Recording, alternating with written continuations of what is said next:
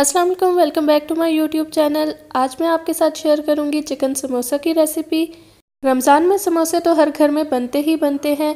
बाज़ार से आप लेके आते हैं, लेकिन जो बाज़ार के समोसे होते हैं, वो उस तरह से मज़े के नहीं बनते जिस तरह के घर के अपने समोसे होते हैं। इसलिए आज मैं आपको घर में आसान तरीके से समोसे बनाना सिखाऊँगी। उसके लिए जो इन्ग्रीडियंट्स चाहिए, मैं आपको वो बताती हूँ। सबसे पहले चिकन बोनलेस हाफ़ के जी लिया है। नमक one teaspoon red chilli powder one fourth teaspoon chilli flakes one tablespoon black pepper powder one teaspoon ज़ीरा साबुत ज़ीरा है one tablespoon coriander powder one tablespoon garam masala one four teaspoon chilli sauce three tablespoon green chillies one tablespoon soya sauce three tablespoon हरा धनिया to table spoon प्याज मैंने ले लिया था एक चॉप करके। तो अभी इनको बनाना स्टार्ट करते हैं। सबसे पहले मैंने पैन के अंदर ऑयल ले लिया था। ऑयल चाहिए हमें three two four table spoon इसके अंदर मैंने ऑयल ऐड किया है। ऑयल जिस टाइम गर्म होगा, उसके अंदर ऐड करना है साबुत ज़ीरा एक टेबल स्पून और इसको बहुत तेज़ गर्म ऑयल के अंदर आपने ऐड नहीं करना।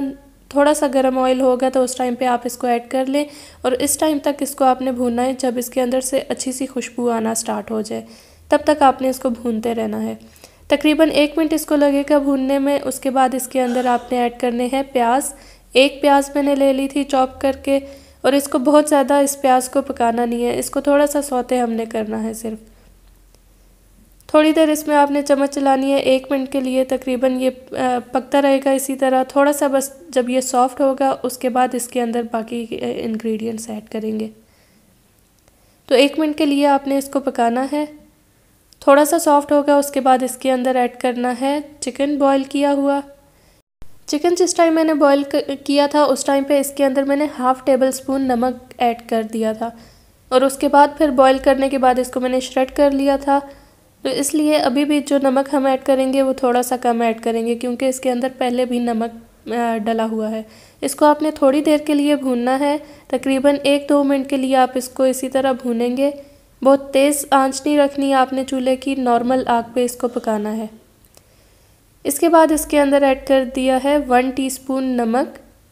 नमक आप अपने हिसाब से भी इस्तेमाल कर सकते हैं। One four teaspoon red chilli powder chilli flakes black pepper powder coriander powder garam masala powder soya sauce chilli sauce green chillies हरा धनिया।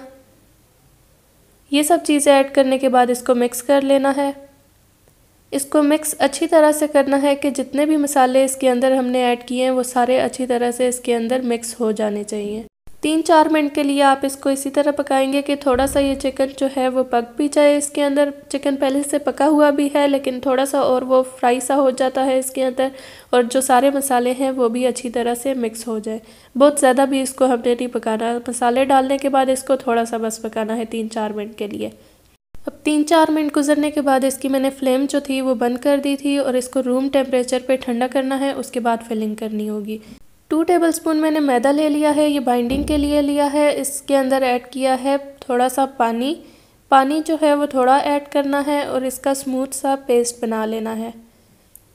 ये पेस्ट बनाने के बाद जिस टाइम हम लोग समोसा बनाएँगे, उसके ऊपर ये हम लगा के समोसे को जोड़ने के लिए ये इस्तेमाल होता है। इसलिए हमने ये पेस्ट बनाना है। इसकी कंसिस्टेंसी आप देख लें, किस तरह से रखनी है, बहुत ज़्यादा थिक भी नहीं रखना है इसको। अब हम समोसे बनाना स्टार्ट करते हैं। समोसा पट्टी लेनी है। समोसा पट्टी मैंने आपको बनाना सिखा दी थी। अगर आपने वीडियो नहीं देखी तो आप वीडियो जाके देख भी सकते हैं और मैं लिंक भी इसका दे दूँगी। अब आप इसको समोसे को फ़ोल्ड करना है। फ़ोल्ड करने का तरीका मैं आपको बताती हूँ। इस तरह से आप इसको एक फ़ोल्ड देंगे और थोड़ा सा आपने इसको पट्टी को बाहर की तरफ़ रखना है। अब आप दूसरा फ़ोल्ड देंगे और दूसरा फ़ोल्ड देने के बाद इस तरह से आपने इसके अंदर फिलिंग करनी होगी। दूसरे फोल्ड के बाद आपने इसके अंदर फिलिंग करनी होगी।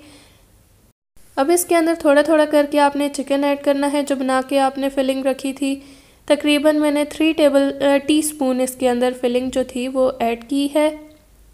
आप देख सकते हैं, जिस तरह से आप, बहुत ज़्यादा भी समोसे को भरना नहीं है, थोड़ी से आपने इसकी स्पेस छोड़नी है। अगर आप समोसे की ज़्यादा फिलिंग ऐड कर देंगे तो वो बहुत ज़्यादा भर जाता है और उस तरह से वो अच्छा फिर नहीं लगता।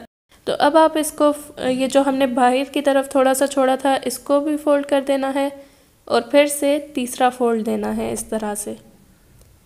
अब जो ये थोड़ी सी पट्टी रह गई है, इसके ऊपर हमने जो पेस्ट बना के रखा था मैदे का, वो लगाना है। पेस्ट आप अच्छी तरह से इसके ऊपर लगा लें और पेस्ट लगाने के बाद इसको फिर हमने फ़ोल्ड करना होगा।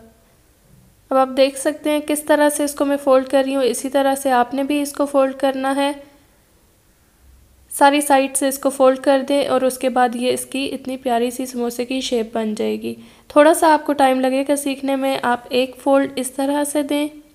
थोड़ी सी आपने पट्टी को पहले जो नीचे की तरफ़ पट्टी है उससे बाहर की तरफ़ रखना है। उसके बाद आपने दूसरा फोल्ड देना है और दूसरे फोल्ड के बाद आपने इसके अंदर फिलिंग करनी है। थ्री टीस्पून इसके अंदर मैंने फिलिंग ऐड की है। आप देख सकते हैं, आप जिस साइज़ के समोसे बना रहे हैं, आप उस हिसाब से उसकी फिलिंग करें। अब ये जो बाहर की तरफ़ हमने छोड़ा था, उसको आपने अंदर की तरफ़ फोल्ड करना है और फिर एक और फोल्ड देना है। अब बाहर की तरफ़ जो रह गया है, उसके ऊपर आपने पेस्ट लगाना है ताकि इसको ये जुड़ सके इसके साथ। अब पेस्ट लगाने के बाद आपने इसको भी फोल्ड कर देना है। आप देख सकते हैं जिस तरह से मैं इसको फोल्ड कर रही हूँ, इस तरह से आप इसको फोल्ड करें। थोड़ा सा आपको ये टफ़ लगेगा, लेकिन आप बनाते बनाते आप सीख जाएँगे कि किस तरह से इसकी शेप बनानी है। इस तरह से आप समोसे बना के इनको फ्रीज़ भी कर सकते हैं। तो अभी हम फ्राई करना स्टार्ट करते हैं। फ्राई करने के लिए मैंने एक पैन में ऑयल ले लिया है। ऑयल जिस टाइम गर्म होगा, उस टाइम उस टाइम पे इसके अंदर मैंने समोसे ऐड करने हैं। सारे समोसे आप इसके अंदर रख दें और जितने आसानी से पैन के अंदर आते हैं, उतने आप समोसे इसके अंदर ऐड करें और थोड़ी थोड़ी देर बाद आपने इसकी साइड को चेंज करना है। समोसे बहुत जल्दी से पक जाते हैं, इसलिए आपने जो फ्लेम है, उसको मीडियम रखना है और थोड़ी थोड़ी देर के बाद आपने इसकी साइड भी चेंज करनी होगी। इनको एक दो मिनट के लिए आप पकाएँ, फिर इसकी साइड चेंज करें, फिर आप एक मिनट के लिए पकाएँ, फिर आप इसकी साइड चेंज करें। इस तरह से आप इसकी साइड चेंज करते रहें, ये एकदम से पक जाते हैं। टाइम नहीं लगता इनको फ्राई करने में, इसलिए जिस टाइम इनके अच्छा सा गोल्डन कलर आ जाए, उस टाइम पे आप इनको निकाल लें और टिशू के ऊपर रख दें। इस तरह से मैं सारे समोसे जो थे, वो फ्राई हो चुके थे और इनको अब निकाल लेती हूँ।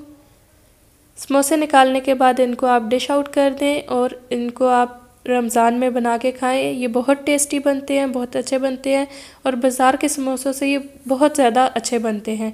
इन समोसों को आप बना के पहले से रख दें और इसको आप महीने के लिए फ्रीज़ भी कर सकते हैं। ये बहुत ही आसान है बनाना। थोड़ा सा आपको फोल्ड करने के टाइम पे आपको मुश्किल लगेगा, लेकिन आप बनाते बनाते आपको ये आ जाएँगे कि किस तरह से इसको फोल्ड देना है।